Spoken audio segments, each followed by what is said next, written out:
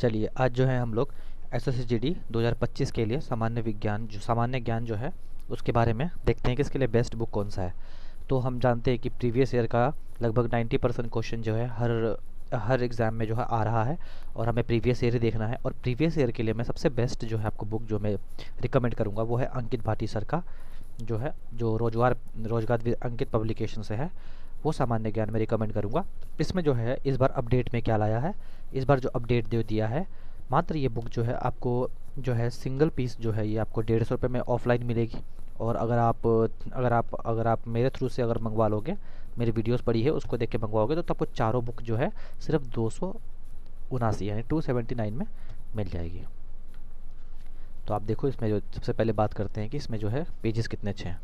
भाई, इसमें पेजेस जो हैं, बहुत प्यारे पेजेस हैं। और कलर्ड है। और मैंने तो ये, मैंने तो ये पढ़ लिया है तो इसलिए इसमें निशान निशान लगाया हुआ है। तो आप लोग भी जो है, पढ़िए। इस बार जो है क्या है, किसको कैटेगराइज किया गया है? पहले हिस्ट्री पहले हिस्ट्री दिया है। और हिस्ट्री में जितने भी क्वेश्चन जो है पूछे गए हैं, वो सारे क्वेश्चन जो है प्रीवियस ईयर सम्मिलित है। और इसमें एमटीएस के भी कुछ क्वेश्चन डाल दिए हैं, ताकि जो है आपके लिए ईजी हो, कोई क्वेश्चन छूटे ना। और जो क्वेश्चन कहीं नहीं पूछा है, वो भी डाल दिया। जैसे क्यों, ऐसा क्यों किया?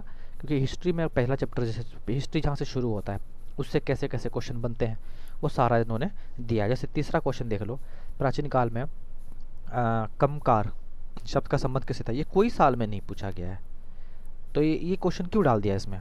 इसलिए डाला क्योंकि हमारे नॉलेज को इजाफा हो ताकि हमें पता चले कि कुछ इसमें क्वेश्चन और क्या क्या बन सकते हैं। तो ऐसा नहीं कि सिर्फ़ प्रीवियस ईयर डाला, इसमें सारे डाले हैं। बाकी तो इसमें देखो, जैसे कि इसमें प्रीवियस ईयर भरे पड़े हैं। देख लो, इक्कीस में, चौबीस में, ये लिखे हुए हैं कौन कौन इस सेशन में जो है पूछा गया है। तो ये बेस्ट बुक मानूँगा मैं। और इसमें जो है कंप्लीट है पॉलिटी भी है इकोनॉमिक्स भी है, ये पतली सी बुक है। और देखो कितनी ज़्यादा मोटी नहीं पतली सी बुक है। और इसमें जो है एक बार क्या इसको तीन बार पढ़ लो अच्छे से। और इसमें क्वेश्चन प्रैक्टिस भी है। और मात्र डेढ़ सौ पेज की बुक है। और डेढ़ सौ पेज में जो है, आप अपना जो है तैयारी जी के लिए अच्छे से कर सकते हो।